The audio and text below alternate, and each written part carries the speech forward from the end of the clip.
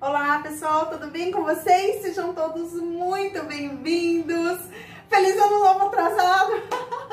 Gente, muita correria! Fui viajar, depois voltei até entrar no ritmo de novo, aí voltamos de férias para produção e tudo mais não consegui gravar vídeo antes. Hoje que eu gravei, tô aqui rapidinho gravando para vocês essa abertura para mostrar. Olha, gente, que linda que ela ficou! Essa caixa de corino metalacê, ela foi um desafio para mim. Eu confesso para vocês, não foi fácil fazer, é um tecido diferente, requer paciência, mas eu tô muito feliz, muito satisfeita com o resultado, ficou muito bonita. E se você quer aprender a revestir ela todinha, na descrição aqui desse vídeo vai ter todos os links, ensinando a cortar, ensinando a revestir aqui a parte da tampa. E nesse vídeo de hoje é revestindo a parte de baixo da caixa, Ó, como ficou, não sei se dá pra ver muito bem, mas vocês vão ver cada detalhe de toda a produção nesse vídeo. Então vamos ao vídeo! Bom, pessoal, então vamos começar aqui a revestir a nossa parte de baixo da caixa, já passando a cola aqui, que como vocês já puderam ver nos outros vídeos, nós precisamos passar a cola e deixar um pouquinho, ela dá aquela secadinha básica para poder colar o corino matalacê mais rápido, ok? Então, ó, vamos passar, já passei, mas vou passar uma quantidadezinha maior para colar bem, porque se trata de um corino grosso. Então, nós precisamos sempre passar uma boa quantidade de cola quando nós estamos trabalhando com um tecido mais grosso. Então, agora eu tô acabando aqui de passar, ó. Vou esperar aqueles dois minutinhos e daqui a pouco eu já volto com vocês pra gente colar o tecido aqui. Pronto, já deu tempo. Eu já estou aqui com o meu tecido cortadinho, certinho, né? Ó, já tô colocando aqui. Fazer o teste para ver se está certo lá para dentro. Dá até para trazer um pouquinho mais aqui pro fundo, para ficar mais largo. Deixa eu fazer o teste de novo, perfeito. Colei, sempre tomem cuidado aqui, ó, vou mostrar assim, tá vendo? Para ficar bem certinho e o que sobrar, às vezes, pelo corte torto do tecido, é só nós acertarmos assim e aperta. Feito isso, vamos colar, temos que dar uma cortadinha aqui também. Pode ser chanfrado aqui na direção do MDF, ó, minha filha tá aí mostrando pra vocês, desta maneira. E agora nós vamos colar aqui. Deixa eu só acertar aqui, que eu tô vendo que tá um pouquinho torto. Então, já vou dar uma acertadinha. Pronto. Agora é aquilo, né, pessoal? Vocês já sabem, tem que ficar empurrando, apertando. Eu vou ficar fazendo isso aqui até ele colar e já vou adiantar passando a cola aqui também. Porque enquanto eu seguro esse lado aqui, pra ele colar, esse aqui também já vai estar tá dando tempo de cola. Pronto, continuo eu ainda aqui, olha, apertando, tá? Que demora um pouco mesmo a colar. Aqui eu já tinha passado a cola para dar o tempo.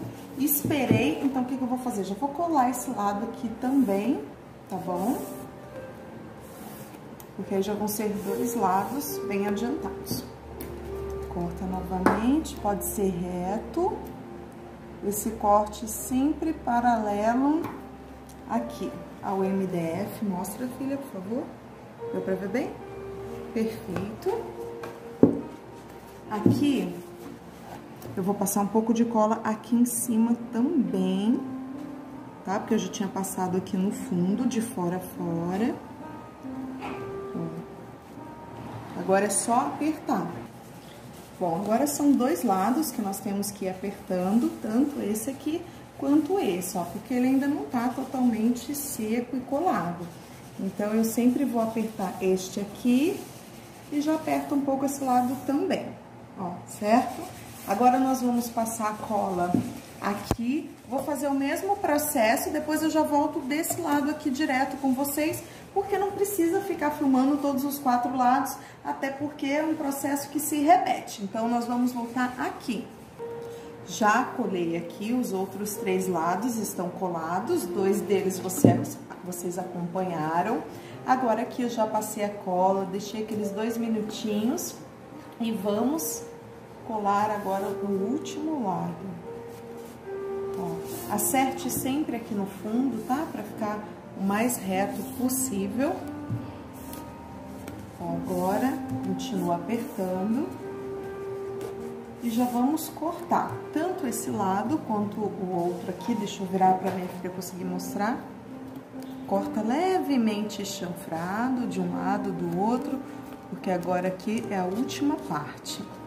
Ó, feito isso, vamos começar a apertar também. E também vamos cortar este lado aqui, ó, tô procurando uma posição que dê para mostrar bem aí, para minha filha conseguir mostrar os detalhes para vocês. Ó. Pronto, porque é muito importante a junção aqui, fica bem coladinho, bem certinho, tá? Bom, vamos deixar já assim, aos poucos nós vamos apertando. Vamos agora cortar aqui os três lados, bem retinho para podermos já começar a revestir a partir de dentro. Então, o que, que nós vamos fazer? Vocês estão olhando aqui a quina, mostra aqui, filha, por favor. A quina do MDF, nós vamos cortar reto assim, de fora a fora, ok? Então, vamos lá, ó. É só vocês acompanharem, vai dar certinho aqui, ó. Deixa eu acabar de cortar. Ó, a quina até a quina do MDF. Deste outro lado também, deixa eu virar assim. Vamos ver se eu consigo mostrar pra vocês eu cortando. Pronto. Ok. Cortado. Esse lado também. Pronto. Agora, o que, que nós vamos fazer? Nós vamos cortar Olha como já colou bem, olha como é importante nós esperarmos esses dois minutos. E olha que nós estamos falando de um tecido que é grosso, ele não é muito fácil e rápido de colar, mas desde o momento que a gente espera os dois minutos, olha, tá super coladinho, ó, que foi os primeiros lados que nós fizemos. Então, vamos lá. Agora, nós vamos cortar aqui, ó, rente.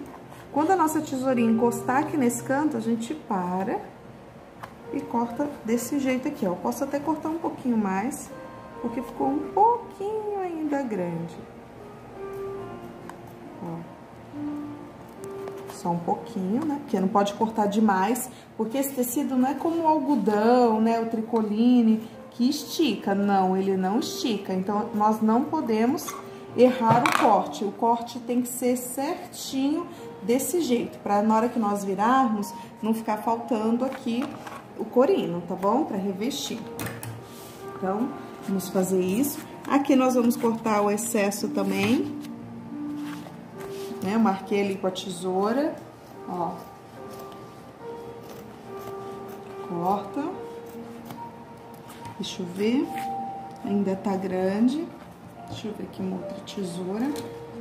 Pra ver se facilita mais o corte. Mas que tá melhor.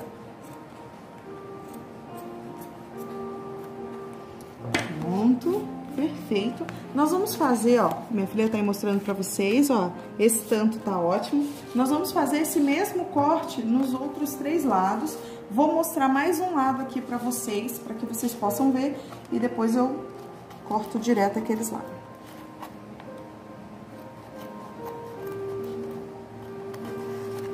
Cortei, corto retinho, mesma coisa aqui desse outro lado. Ó, sempre reto. Aqui, ó, tá vendo? Se a gente corta retinho, o canto ali, ó, ele fica perfeito, bem encostadinho.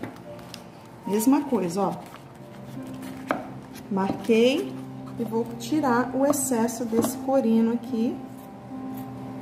Porque se esse excesso ficar, ele vai atrapalhar na hora que nós formos colar a parte de dentro, tá?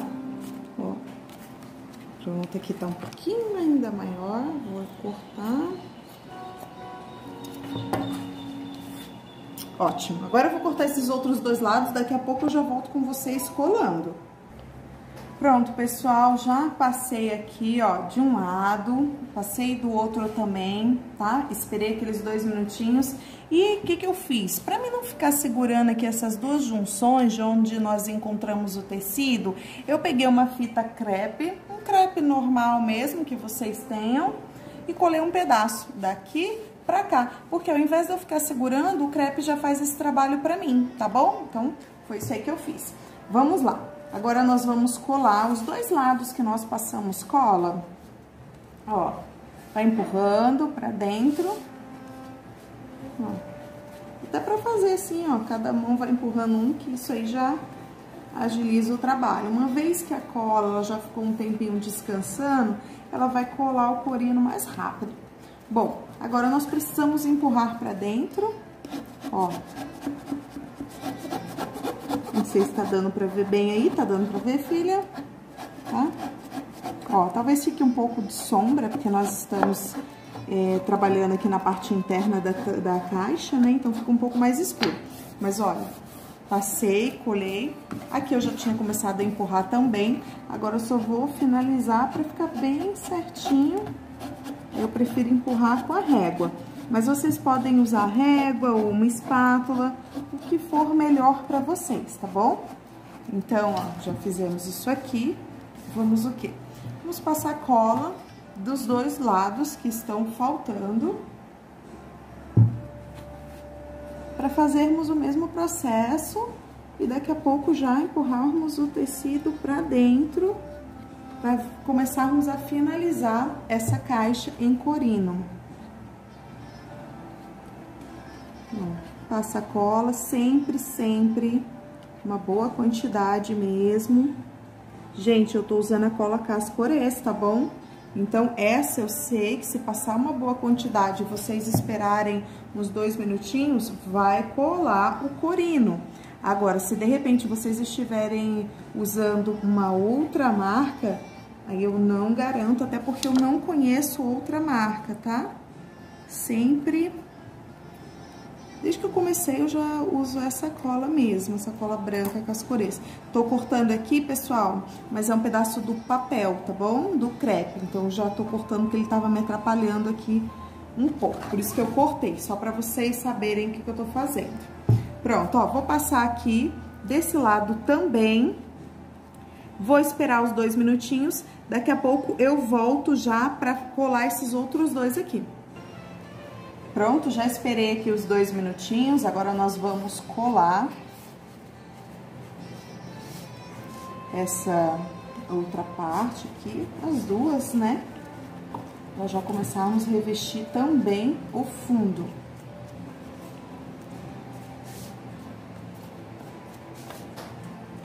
Peraí, gente, tô achando que tá muito excesso de tecido aqui. Eu vou cortar rapidinho, porque eu não consigo deixar, tem que ficar bem certo.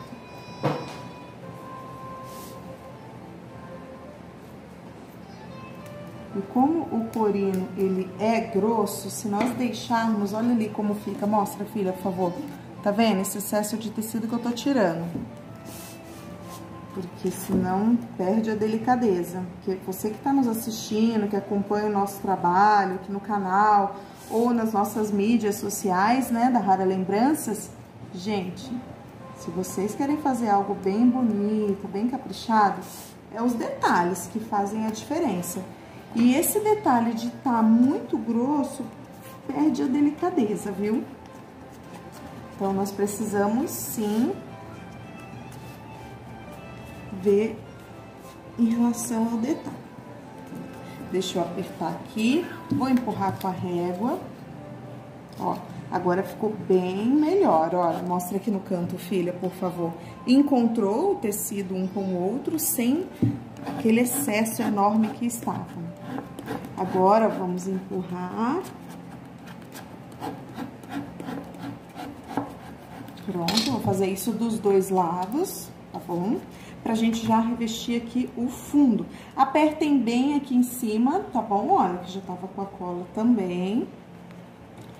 Aperta bem pra ficar bem bonito. E vamos nós aqui empurrar essa outra parte também.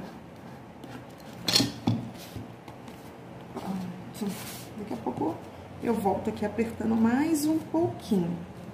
Agora, nós vamos cortar o tecido de dentro, mais ou menos, eu já tinha cortado, né? Olha, quando nós cortamos o tecido, só que tá vendo? Tá dando excesso aqui, então nós vamos acertar para tirar esses excessos. Então, ó, aqui eu sei que precisa cortar um pouco. E vamos assim, ó, vamos colocando por dentro e vendo onde tem que cortar. Vou cortar mais um pouquinho deste lado aqui também. É assim, todo o tecido que você vai cortar para revestir a parte interna da caixa, sempre você tem que ir cortando aos poucos, colocando, vendo se realmente ficou bom, se não tem excesso, ó. Vai colocando, experimentando. Deixa eu virar, vira o tecido, que às vezes dá diferença, viu, gente? Pronto, vai ser desse jeito. Eu só tenho que cortar mais um pouquinho aqui deste lado pra ficar bom mesmo. Então, ó, vamos cortar e depois vamos passar a cola no fundo pra colar e vir fazendo o acabamento ao redor com aquele cordão. Pronto. Ó, agora tá certinho. Deixa minha filha mostrar aí pra vocês. Tá? Ele fica assim mesmo porque ele é grosso, meio altinho. Mas agora nós vamos passar a cola no fundo. Não tem segredo, né? Passa a cola no fundo, espera os dois minutinhos e nós já vamos colar. Como vocês podem ver, já passei a cola, tá? Já ficou aí os dois minutos descansando. Agora, ó, nós vamos colocar o tecido que nós acabamos de cortar aqui dentro.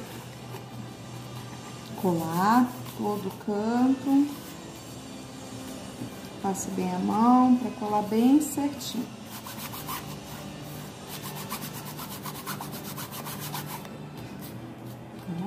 ficando bonito, tá começando a ficar pronta a nossa caixa. Até que enfim, né, pessoal? Demorou tanto. Ai, esse negócio de final de ano, de férias, até voltar ao normal, até voltar ao embalo, o ritmo é assim mesmo. Então, vamos lá. Agora, nós vamos passar a cola no canto, por quê?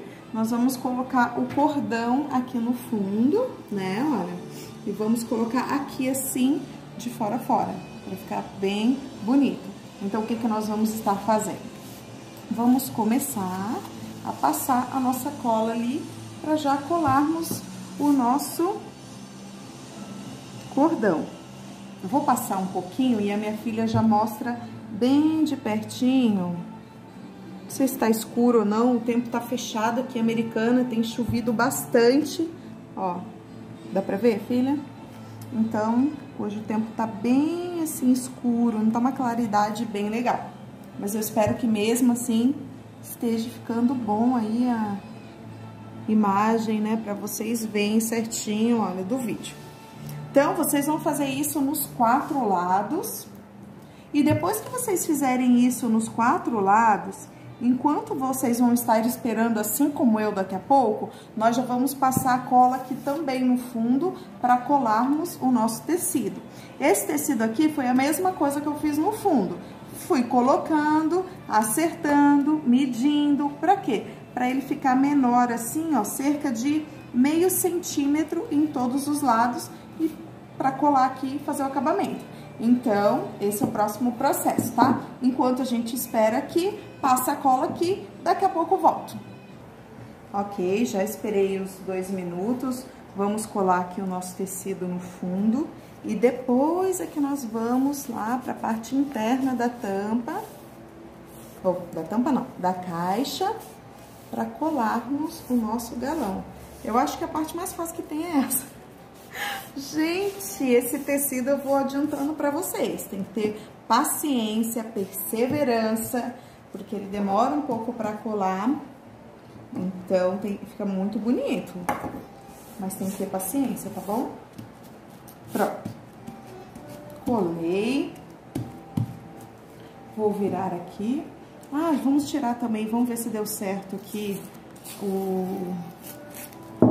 Oh, gente, olha que beleza. Mostra aqui, filha. Deixa eu só cortar aqui esse excessinho de tecido.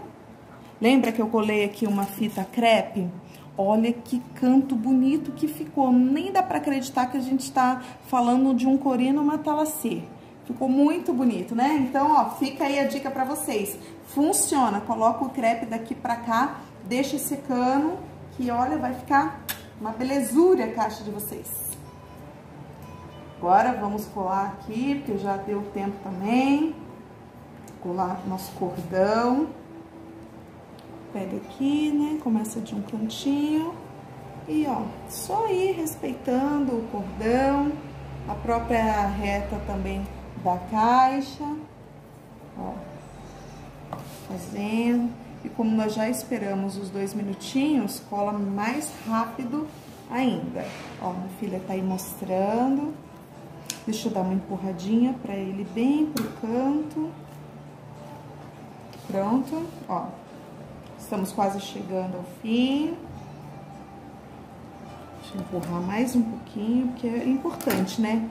Que esse cordão fique bem certo até no canto, ó. Mostra, filha, por favor. Ó como que tá ficando. Que nós ainda vamos dar mais umas apertadinhas, mas como vocês podem ver, já está ficando bem bonito. Ó, encontramos aqui com a ponta onde nós começamos. Nós vamos marcar, marco segurando assim mesmo, ó, com a unha, né? Sei que eu preciso cortar aqui, deixa eu chegar pra lá. Ó, tá grande. Então, o que, que nós vamos fazer, já que tá grande? Vamos cortar mais um pouquinho. E colocarmos a cola. Deixa eu fazer um teste de novo. Perfeito, agora dá pra apertar. Então, olha, vamos passar a cola aqui, ó.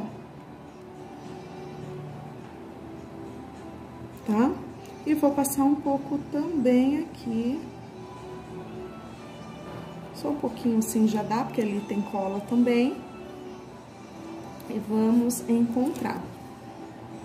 Aqui é sempre bom você usar uma pinça ou a ponta mesmo da tesoura, para que você consiga fazer um encontro bem bonito, desse jeitinho. Pronto. Gente, tô ficando orgulhosa dessa caixa, hein? Confesso pra vocês, minha primeira caixa em Corino Matalacê, fazendo aqui juntamente com vocês nessa videoaula. Eu tô muito feliz com o resultado, não vi ainda, né? Tô fazendo agora aqui com vocês, mas eu já tô muito feliz com esse resultado. Imagina quando tiver pronta, com os itens dentro, vai ficar bem bacana. Então, vamos lá.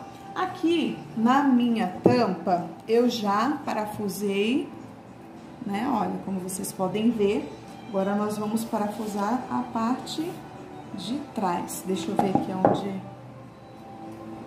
Isso aqui, então... Aqui. Aqui é a parte de trás, eu posso sentir o carocinho, que é onde vai a... Aqui. Então, agora eu vou acertar bem certinho. Ó, deixa eu mostrar pra vocês. É muito importante aqui, ó, acertar as quininhas aqui da caixa, tá? Junto com a tampa. Pronto. E o que, que eu vou fazer agora para ajudar? Porque como esse tecido ele é grosso aqui e aqui, quando nós vamos revestir já dá uma diferença de altura. Se eu tentar colocar no mesmo buraquinho de antes, não vai dar certo. Então, nós temos que fazer um novo buraquinho. Eu faço com a tesoura mesmo, se vocês tiverem um outro tipo de ferramenta, um furador, alguma coisa assim, pode usar, tá bom, gente? Eu parei de falar porque eu ia fazer força para empurrar. Ó, aqui, coloco aqui, marco, seguro e forço. Agora, eu já vou parafusar esse lado aqui e depois vou fazer a mesma coisa ali do outro lado e mostro pra vocês. Pronto, já terminei aqui de parafusar. Normalmente, quando a gente termina de parafusar uma dobradiça, principalmente quando se trata de um tecido grosso como esse, a caixa ela fica meio abertinha assim. Vou ensinar aqui para vocês uma dica de ouro. Você pega a chave de fenda ou o seu próprio pincel, que for, coloca aqui bem no cantinho e força, ó, força de um lado, faz isso também no outro. Vai fazendo aos pouquinhos, porque senão o parafuso e a dobradiça aqui atrás não vai aguentar. Vai fazendo isso até ela fechar o máximo possível, ok? Claro, como é um tecido muito grande, nem sei dizer se vai fechar totalmente, mas acho que dá pra fechar mais um pouquinho ainda.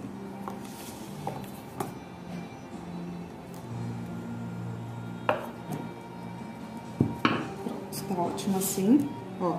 Já fechou um pouco mais, eu acho que mais do que isso não vai fechar. E se forçarmos mais ainda a dobradiça, talvez ela não aguente, o parafuso sai. Então, o que, que nós vamos fazer agora? Nós vamos colocar o laço Chanel aqui, olha. Deixa eu segurar para minha filha mostrar para vocês, tá? Vamos colocar esse laço aqui.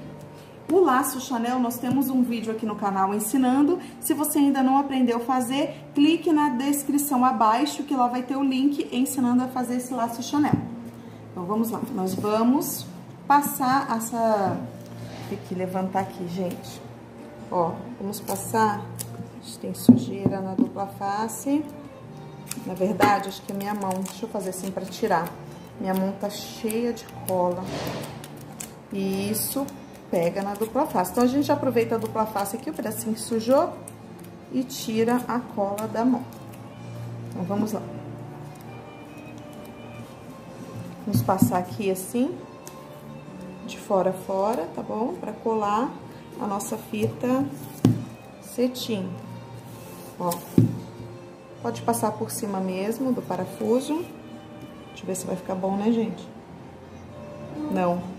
Não vai ficar bom, gente. Eu vou ter que desparafusar, passar por baixo a fita para depois parafusar. Então, eu vou ter que tirar isso aqui, vou passar a dupla face, passar a fita, depois eu parafuso novamente. Vamos lá, então, né? Deixa eu tirar, porque senão não vai ficar bonito. E nós não queremos o nosso trabalho mais ou menos, já que chegamos até aqui buscando a excelência, Vamos terminar da mesma maneira. Ó, faz assim, eu vou desparafusar tudo aqui, vou passar a fita dupla face ao redor todo, daqui a pouco a gente volta. Pronto, já passei aqui, ó, o dupla face ao redor todo, desparafusei.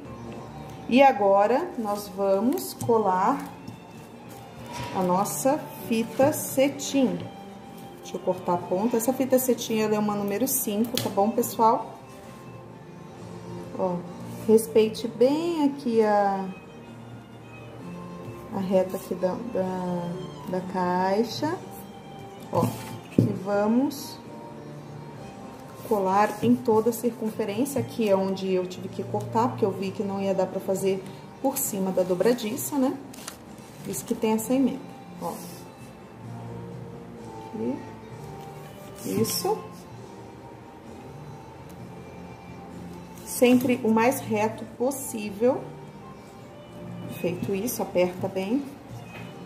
Aí você pode me perguntar, Elane, mas com dupla face não vai soltar? Não vai soltar. Primeiro, ó, nós colamos bem colado, bem apertado, ajustado. Aqui nós vamos passar uma cola para colarmos o laço. Essa cola e o laço vai ser o acabamento, então não solta com essa dupla face, tá bom?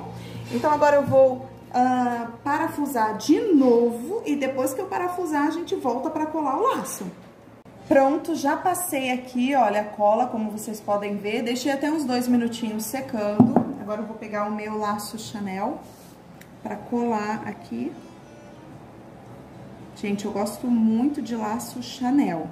Vocês podem ver que a maioria das nossas peças aqui da Rara Lembranças tem laço Chanel, porque eu acho muito chique esse laço, eu acho que ele combina com tudo.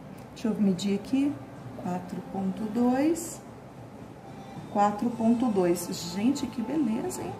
4.2, certinho, já tá no meio. Preciso nem mexer, só apertar, então.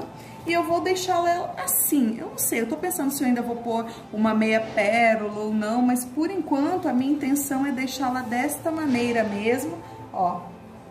Deixa eu mostrar pra vocês, mostrar por dentro também como que ficou, ó.